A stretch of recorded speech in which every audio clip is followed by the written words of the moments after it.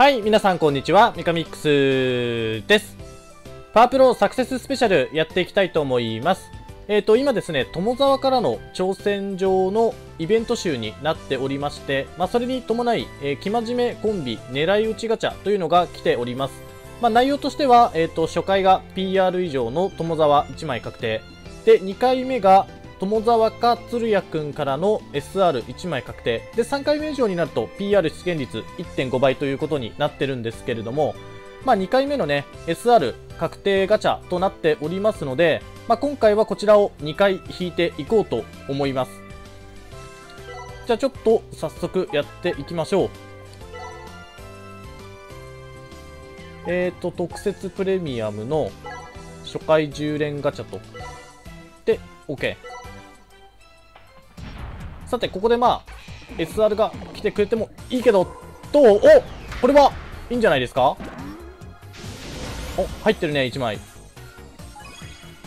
で、1枚目が友沢の PR か。まあ、友沢の PR はね、1枚持ってるんで。えっ、ー、と、騎馬の R か。称号決くん。PR ですね。右京と左京ね、どっちがどっちだか未だにわかんないですよね。で、SR は？おー、水鳥か。いいね。ささやきが欲しかったんで、水鳥はかなり嬉しいですね。えーっと、そっか。もうボックスがいっぱいか。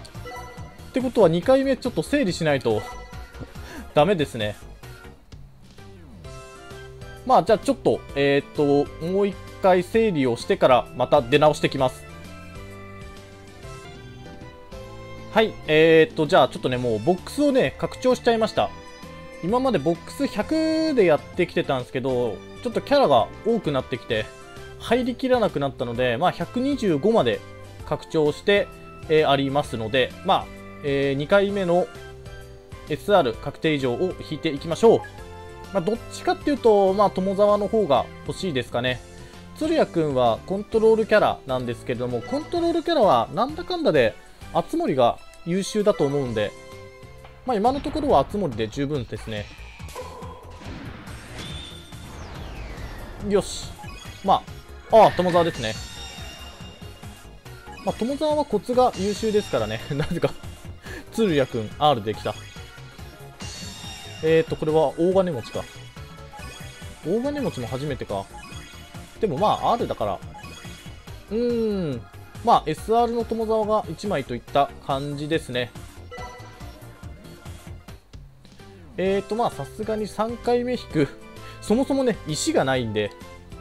まあ、今回はこんな感じでいいでしょう。まあ、SR2 枚手に入ったんで、全然上々の結果ですね。じゃあ、あとはまた、パワチャレをやりつつ、えーと、そうそうそう、ダイヤのエースがね、えーと、8月4日から、えーと、コラボがスタートになって、聖堂が実装されますね。でまあ、聖堂高校自体は、なんかそんなに強い高校じゃないとは思うんですけれども、最近ね、あの、ダイヤのエースをね、見始めたんですよ。もともと全然見てなかったんですけれども、えっ、ー、とね、その、最近ちょっとね、みんなからね、太ったねって言われ始めたんで、えっ、ー、とね、なんか市が運営するトレーニングルームにね、ちょいちょい通ってるんですよ。で、まあそこでランニングとか、まあエアロバイクとかがあるんですけれども、前にスマホを立てかけて、えー、ダイヤのエースを取り込んだやつを まあ見ながらトレーニングしてるっていったところですね。で、まだまだ見始めたばっかりなんで、全然進んでないんですけれども、まあ、めっちゃ面白いっすね、ダイヤのエース。もう全然知らなかったんですけど、その存在そのものを、パワープロやるまで。で、そのトレーニングするにあたって、まあ、何見ようかなって、えっ、ー、と、センター方向にホームラン1本打てと。センター方向か？まあ、何見ようかなって思ってて、まあなんか、自分はいつもレンタルするときは結構ね、ガンダム系のあれを見るんですけれども、まあ、サクスペの方で制度が実装されるっていうのをちょっとあったので、あじゃあダイヤのエース見てみようかなと思って借り始めました。で、今まだ全然あの、1年目の1軍の夏合宿がこれから始まるところですね だからまだ、何話くらい？十何話とかなんですけど、やっぱりクリス先輩のお話がねめちゃくちゃ熱かったですよね。だからまあ制度が実装されて一応優秀キャラとしてはピッチャー成宮とか、まあ、いきなり出てくるのかは分かんないですけれどもだからそもそもねだから成宮とかまだ出てきてないんで、まあ、どんなキャラなのかっていうのがね分かんないんですよねであと優秀キャラでいくとライチとかなんですけどライチもまあ 出てきてないからちょっとよく分からないっていうあこれは ギリギリフェアだなまあ、だから今ね、ちょっとね、楽しみですね。このトレーニングも全然苦にならないんですよ。なんかあっという間に時間が過ぎるっていうような感じで、すげえ効率よくね、あのトレーニングできるんで。まあトレーニングする際、スマホを持ってる方はね、なんかスマホをやりながら、トレーニングされると、結構いい時間潰しをしながらトレーニングできるんで、まあおすすめですね。